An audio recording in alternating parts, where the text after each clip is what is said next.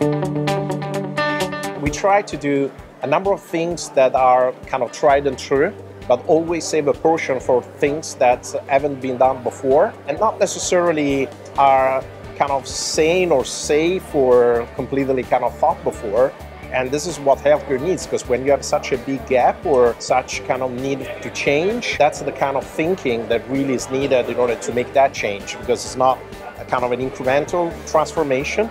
It's really this kind of more disruptive but I like the word moonshot because disruption might have some kind of negative implication to hmm. some extent. What's up next for healthcare will be only good. Of course, there will be pitfalls. Some we have seen already. but this will give us, it's a much better healthcare, probably for everyone, in a much more kind of even way.